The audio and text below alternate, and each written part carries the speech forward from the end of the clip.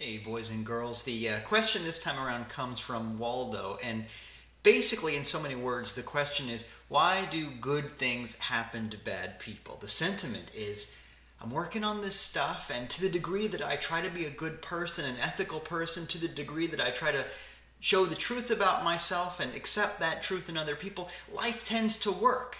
And that's beautiful. However, how come there are people who I know aren't doing that, who are doing bad things, mean things, selfish things, egotistical things, materialistic things, and so on and so on and so on? How come there are people that are doing that kind of garbage stuff who seem to be having a good life? I'm working on a good life myself and it seems to be working out, but how come there are people that aren't playing by the same rules as me?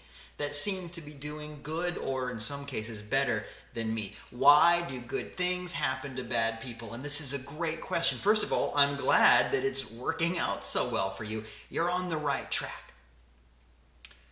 But let me break down the question really. First of all, as I know you know, there's no such thing as bad people. We're all made out of the same stuff. We're all working on the same thing. And one way or another, each and every person who ever lived, whoever will live, and so on, each and every person is working on some kind of a definition of good. They're doing the best that they can to try to make things better in whatever way makes sense to them.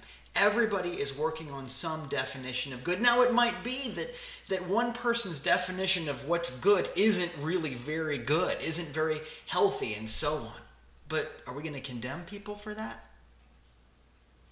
Different people have a different idea of what's good, but this is not something that we want to exclude and condemn and label people about. Rather, the, the solution, of course, is education. And how do you educate somebody? You can't force somebody to think a certain way. That's never a good idea.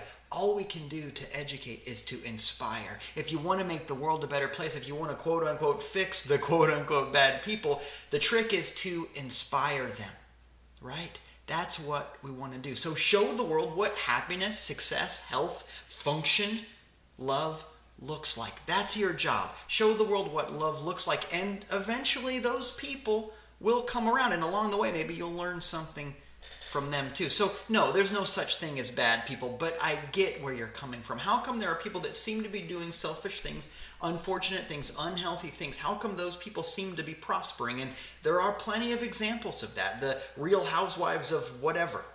There are people in the world who are who seem to have a lot going for them who are not really dedicated to any particular kind of thing that feels healthy. How are they making that work? How are they pulling it off? Well, first of all, you have no idea what's going on behind the scenes. You and I both know that happiness and success has very little to do with how much stuff you have. You can still be miserable in a private jet, believe it or not. You know that. And so, first of all, you have no idea what's going on. You have no idea what their path is. You have no idea what they're here to work on. And believe me, each and every person is working on something. And I got to tell you, not only do you not know, you don't want to know. You don't know what's going on in their lives. You've got your own stuff to worry about. But more than that, the way that you get further is to stop caring about what they're working on. We care about people. But as far as what axe they have to grind, what path they have to walk, what lessons they have to learn, you can't learn it for them. You can't grow for somebody else. You can't think for somebody else. They're working on what they need to work on, and you have no idea what that is. You can't know. You don't want to know. All you can do is you. Don't worry about what somebody else is doing. You can't know anyway. You focus on your growth, your spirituality, your path to showing the world what love looks like. And along the way, you're not going to worry so much about what other people don't have or do have or whatever. None of that really matters anyway. So, in other words, what do you care? You've got bigger things to think about. You've got a world to change through the power of your honesty, your intention, your truth, your beauty, and your love. I'm glad it's working out for you. Like I said before, you're on the right track. Keep up the good work.